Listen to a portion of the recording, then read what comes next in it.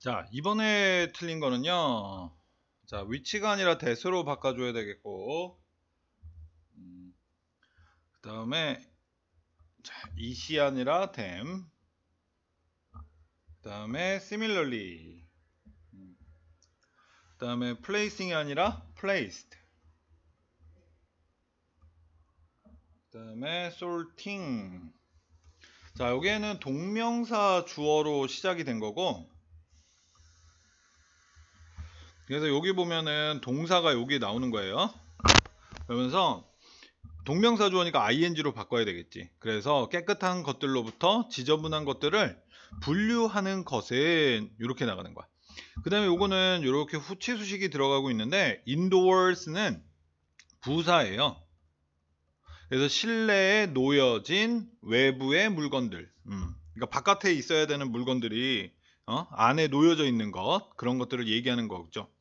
뒤에 있는 명사 목적어가 없다라는 얘기예요. 인도어는 부사이기 때문에 그러니까 목적어 없으니까 수동이 들어가는 게 또 당연하겠지, 그지? 자, 그다음 여기 similarly similar가 들어가면은 비슷한 목욕탕 아이템들, 예, 뭐하고 비슷해? 안 되겠죠?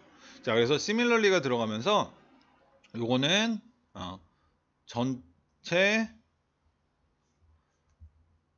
문장. 근데 여기서는 문장이 아니고 내용이라고 해야 될 것 같아요.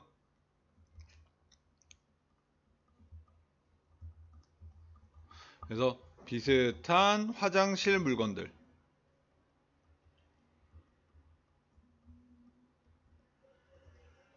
은 아니야. 음.